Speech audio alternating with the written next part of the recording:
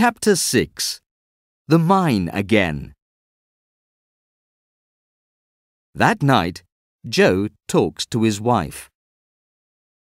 Sandy, something bad is going on, he says. And I think Grady knows about it.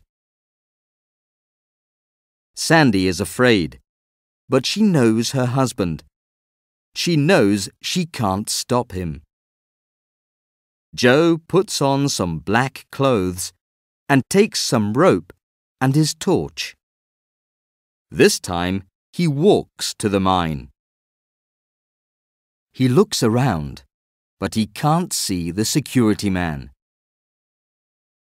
Joe feels afraid. But he takes the rope and ties it to a machine. Then he goes down the rope and into the hole. He turns on the torch.